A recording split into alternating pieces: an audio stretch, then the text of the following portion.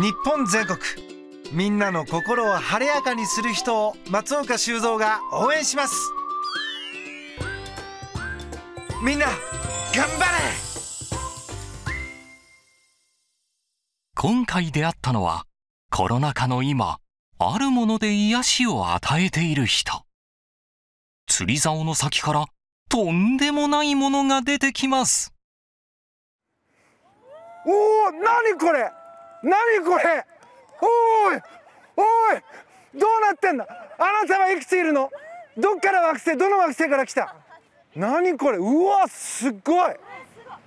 あるものとはシャボン玉。はいはいはいはいはいはい。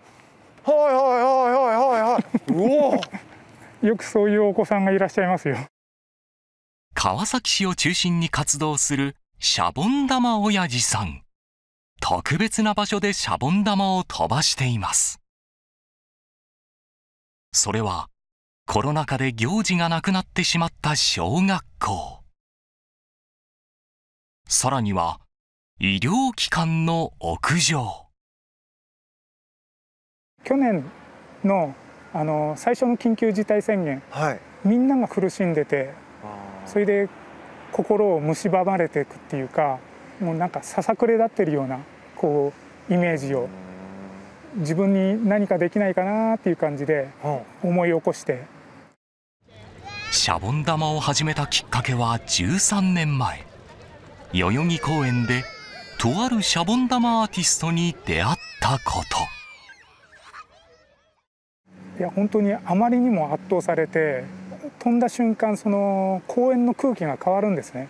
みんながふわっとなんか幸せになったようなあ自分もちょっと試してみたいなっていう気になって。そこから独学で技術を磨き公園などで幸せを届けていました。しかしコロナ禍になって活動を自粛。人が集まるのを避けるため苦渋の決断をしたのです。もう家に閉じこもってたんでシャボン玉飛ばしてないと自分自身が本当にストレス溜まって川に向かって 飛ばしてたこともあるんですよ。そうすると人はもう集まんない。あの前川ですから。しかし半年以上経った頃シャボン玉親父さんの心を震わせる出来事が。90を超えたおばあさんがあの歩行器を使ってわざわざみんなの心を晴れやかにするためシャボン玉を飛ばしていたシャボン玉親父さん。去年コロナ禍で自粛を余儀なくされてしまいました。しかし医療従事者の奮闘を見て応援したいという思いが新たな活動を生み出しました。その名も幸せ届けたい。依頼者のもとへシャボン玉パフォーマンスを届けます。そこにあるオファーが。介護施設で働かれてる看護師の方がいてうちの施設で飛ばしてくれないかって。活動再開の場所は小さな介護施設。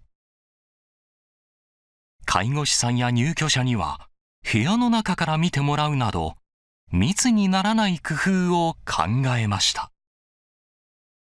その時言われた言葉がシャボン玉親父さんの心を震わせたのです。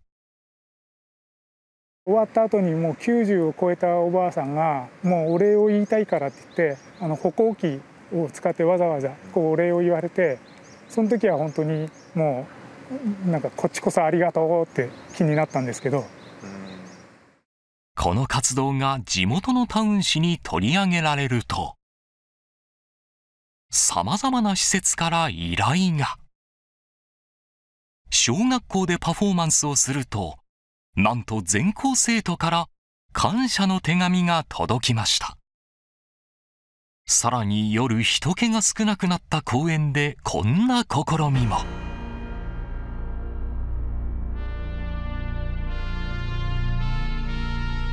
プロの照明家とコラボしシャボン玉をライトアップ。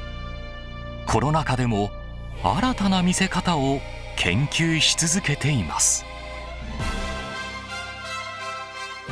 そんな体験を通しシャボン玉親父さんが今思うこと。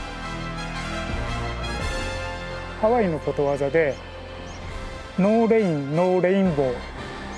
雨が降らなければ虹はできない。はい。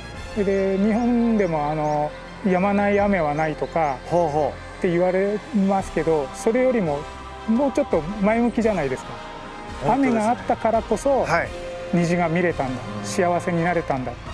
コロナだったからこういうことができたんだねとかもうちょっとあの考えようによっては前向きになる。